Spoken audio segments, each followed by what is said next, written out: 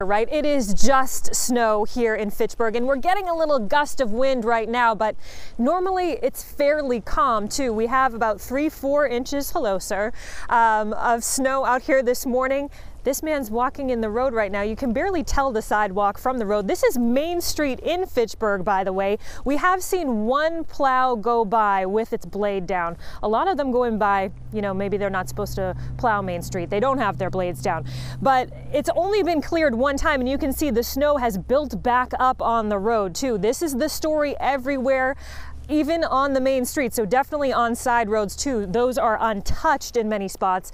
We were on the highway a little while ago, so things may have changed since then, but 495, 190, 117, a route through uh, the Bolton area, those were untouched at the time. You could not really tell the side of the road from a little drop off. So you do want to be careful. Things are very slick out there too. People are driving much slower as they should.